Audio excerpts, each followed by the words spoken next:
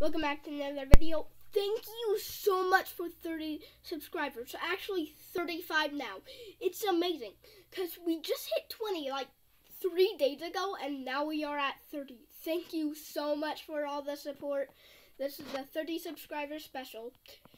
Uh, we will be reacting to old old Jurassic Park dinosaurs. Like, basically, they're gonna make the um here read the title of the video they're gonna add scientifically accurate dinosaurs to jurassic park and probably some of jurassic world i'm so excited to watch it so let's get into the reaction let's go This is what the original Jurassic Park T-Rex breakup scene looks like. And this Yeah. is what it looks like if it were done today with our modern Ooh. dinosaurs. this animation actually isn't half bad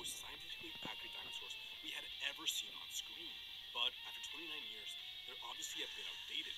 Which begs the question, what would these iconic movie scenes look like? I don't get this, but for some reason they literally just were like, yeah, we're gonna add those to the Dilophosaurus. That wasn't even in the book. But anyway. Well, to answer that, I went ahead and made scientifically accurate models of these four Ooh, look at this model. Franchise and added them back into the Ooh, movies. yeah, see, they're doing the Giga. I knew favorite queen, Rexy. I needed her to be based Yeah. around real science and everything we now know about the real animal. So I downloaded this 3D scan of a real fossil and dropped it into Blender. But the head was a bit wonky. Yeah. I then remembered that I had this guy sitting right next to me. So I went outside, took some photos with my phone, and after putting it into some software, bam, an accurate, unwonky T-Rex. And this provided the perfect base to start sculpting. This is where I really get to build up the forms and shapes of the creature, and just really get her to look like a real, well-fed, living animal. This is actually my favorite part of the whole process. 15 million polygons later, the sculpt is all done.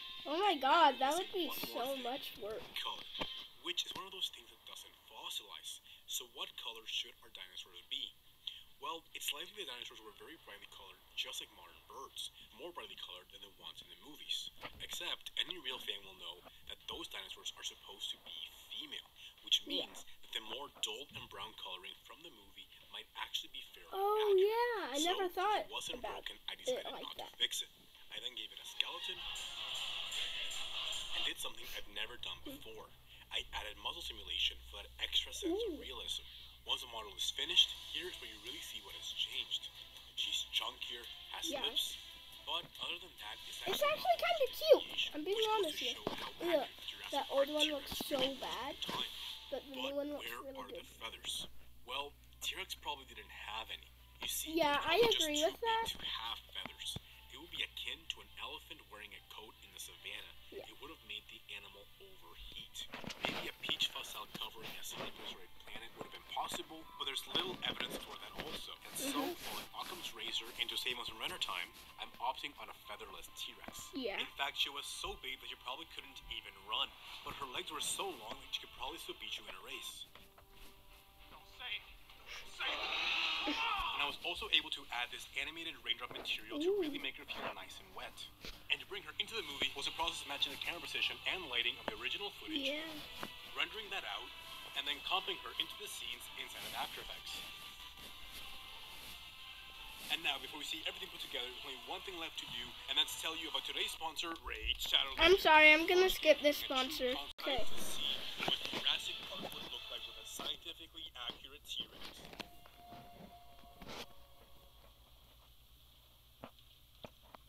Yep. That plastic with the cl- cup.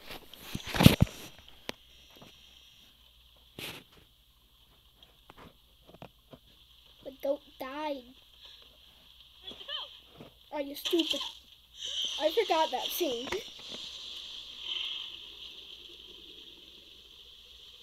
Oh yeah, that looks good. It is staring at us.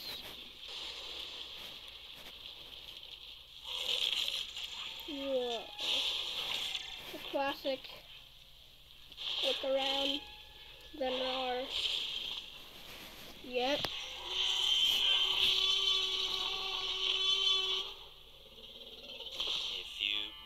A few. What about Timmy? That that like in the movie they just left Timmy to die. They were like, we do not care. Can't see us if we don't move.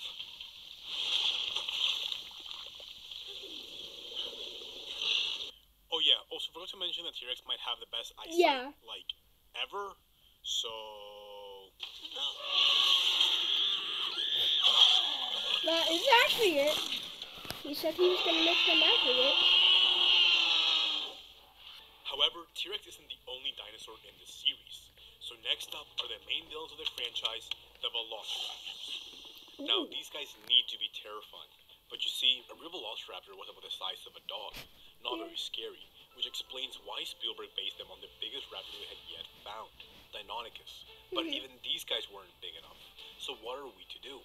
Luckily for us, during filming, they found this guy, a The six foot tall, Utahraptor. 18 foot long raptor giant. This is Yep. the Utahraptor. The Utah Raptor. The Utah skeleton, Rap. the Utah Raptor's about the a ginormous. torso. For a quick comparison, here's the difference between a Velociraptor, a Deinonychus, and finally the Utahraptor. This Yeah. guy is terrifying, except for its jaw. Some people might think I made a mistake, but no, it very much looked like that. It was perfect for gobbling up hot dogs or starting a shrimp business. And unlike the T-Rex, Yeah. this guy was definitely covered in feathers. I So, agree with little that. fat kid in the It movie who was says, More like a six foot turkey. So you have chosen death. Was more right than he could ever know. Because Yeah, you see, not are you only would it have offending looked like a giant turkey, but it probably would have been about as intelligent. Which leads us to a question I want to address.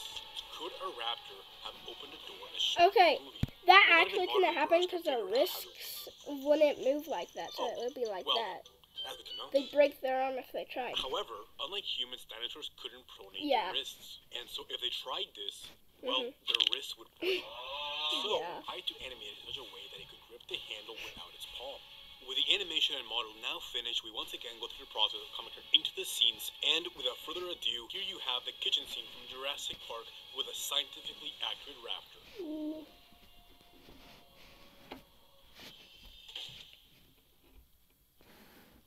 I'd be so scared. I'd be like,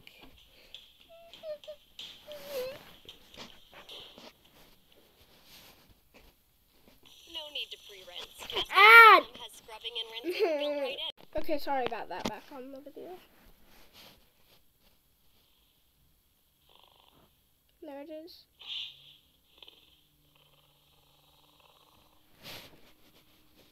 Hmm? That's what it's like. Yeah.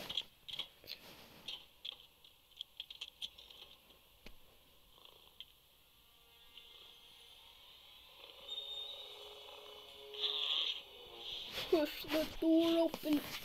Okay. In Jurassic World Dominion, the Velociraptors just bust through the doors. They do not care, but in Jurassic Park, it's like, "Yoo-yoo." like what the? Well, I guess they were uh, Trosiraptors, so um, yeah.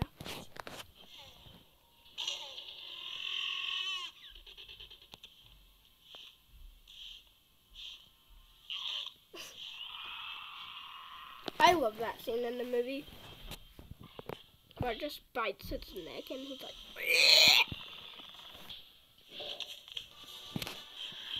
Yep, there's a charging scene.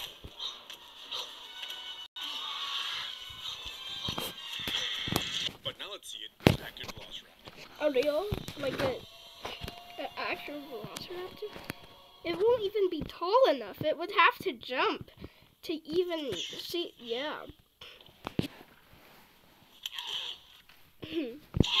that would actually still be pretty terrifying. Okay, maybe that one wouldn't of be terrifying. Now, to be fair, in 2001, when they made the third movie, there wasn't that much Yeah. information available. However, recent discoveries have given us a much better look and at it one of the franchise's most controversial dinosaurs. And oh boy, are you guys in for a ride. Why? Because this guy was weird. Yeah. Firstly,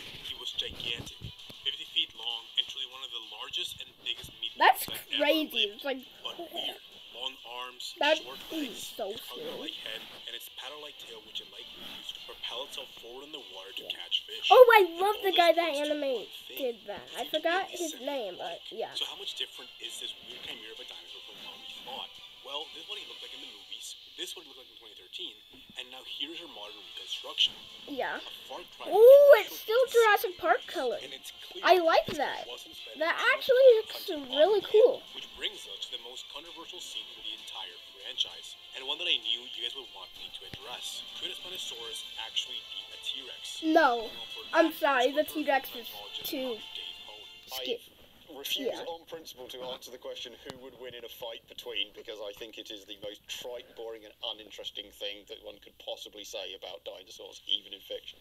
But it's T Rex. It pretty much comes down to T-Rex being just too heavily armored by dinosaurs, especially when compared to Spinosaurus. Yeah, I agree with that. powerful bite force, Sorry, Spino.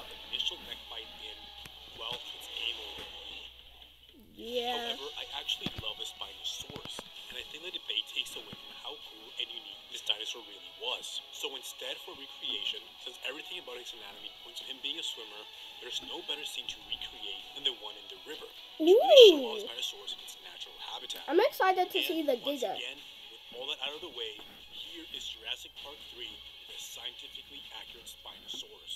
Ooh.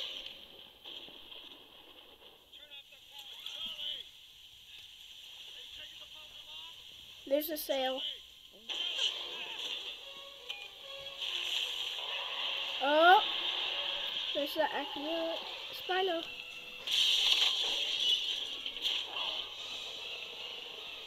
It's looking at you guys. A few moments later. Oh, yep. There comes the classic thing.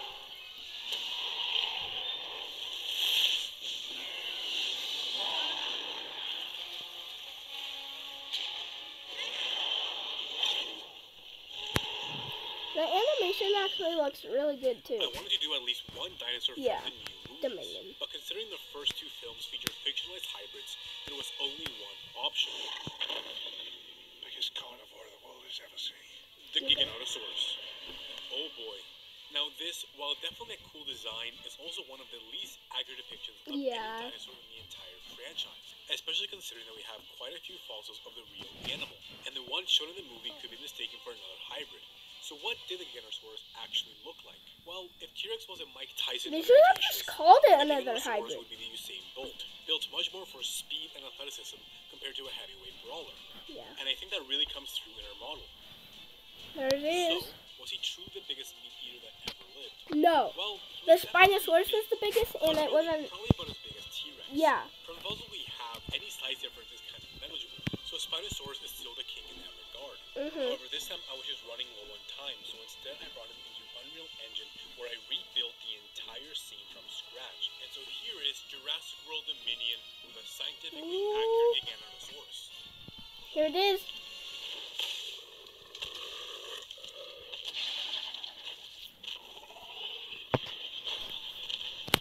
Yeah.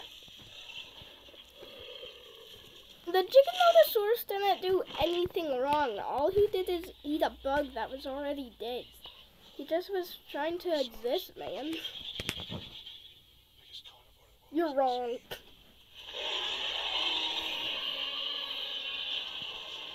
A few moments later.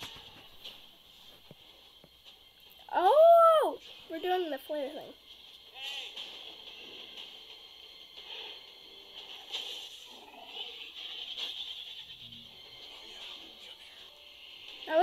So much time because he said he had to like redo the entire thing. There comes the dragon And part. Yeah. Jurassic Park with scientifically accurate dinosaurs. Let me Okay. your favorite and right Yeah. That was that was a really good video. So I hope you liked this video. Please like and subscribe. Thank you so much for 30 subs. It's crazy. Like we just celebrated like four to three days ago that I just got 20 subscribers. We gained actually 15 subscribers because now I have 35. I think. Hmm. Let's let's see. Yeah, 35. And see, we literally just celebrated having um 20 subscribers just literally 3 days ago. So, yeah, thank you so much. Um I hope you like this video. Please like and subscribe and goodbye.